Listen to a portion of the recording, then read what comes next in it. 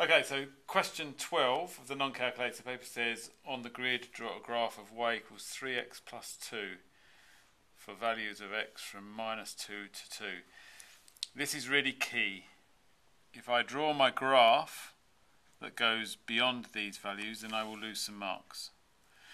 Um, I know that the graph is going to be a straight line. So when I plot my coordinates, if they don't make a straight line, I will uh, have to check either my calculations or where I've plotted the coordinates. I know that the x values are going to go from minus 2 to 2, so my scale is worked out there. What I need to do is find out my y values, and this is often best done with a table. So what I'm going to do is I'm going to create a table where I choose values for x and I work out values for y. So I know my x values are going to go from minus 2, minus 1, 0, 1 and 2.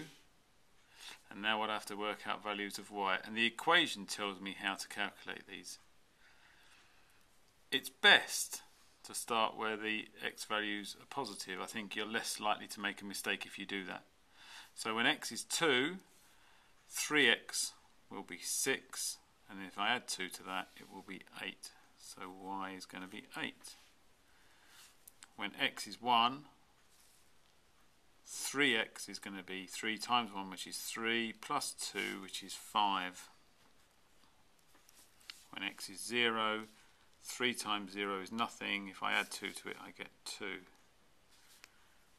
it gets a bit more tricky now so I have to be a bit more careful with the negatives. When x is minus 1 3 lots of minus 1 is minus 3. Add 2 takes me to minus 1. And for the final one, when x is minus 2, 3 lots of minus 2 is minus 6. Add 2 is minus 4. You can do a little check here now as well because if you have a look at the values of y, they go up by 3 I add 3 and add 3 and add 3 and add 3. The values of y are going up by 3 every time, so that gives me a nice feeling that my calculations are probably correct. So I know that my x values go from minus 2 to 2 and my y values go from minus 4 to 8.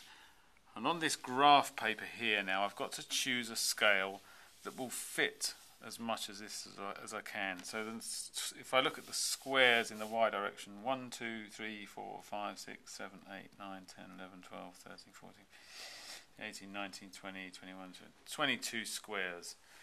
So I won't be able to fill the whole of it. Uh, and from minus 2 to 2 I've got uh, 1 to 5 values, 1, 2, 3, 4, 5, 6, 7, 8, 9. So i am going to roughly do two squares for each one I think in the y value, in the x value.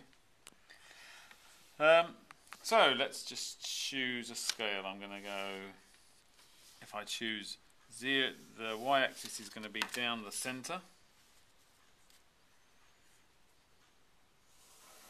It's going to be down the centre because minus 2 and 2 are equal side of even side of it. So I'm going to do minus 1, minus 2 here, plus 1, plus 2 here. Every two squares is a value, so 0 along here.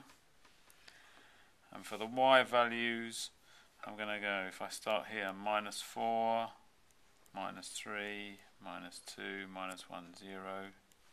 So that will be my 0 line. 1, 2, 3, 4, 5, 6, 7, 8. There you go. So I'm going to draw my y x-axis here.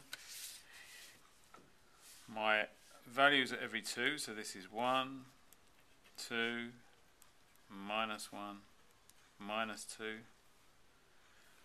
My uh, y values go minus 2, minus 4, 2, 4, 6, 8. And now I'll be able to draw my graph.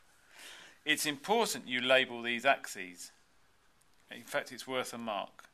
If you don't say that this is the y-axis and you don't say that this is the x-axis, you will lose some marks. But we've calculated when x is y minus 2, y is minus 4.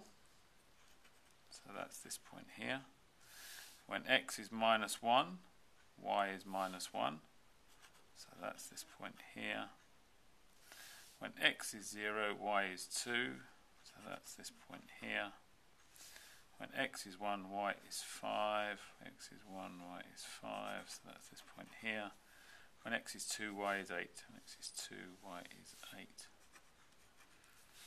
And these lines I know should form a straight line because there are no powers in my equation. If I line my ruler up,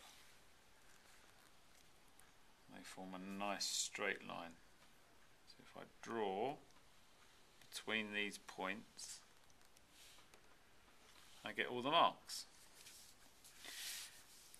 Let me emphasize again, if you draw a line beyond this coordinate here, or if you draw a line beyond this coordinate here, you will lose marks because you are not plotting the graph between the values of x is minus 2 and plus 2.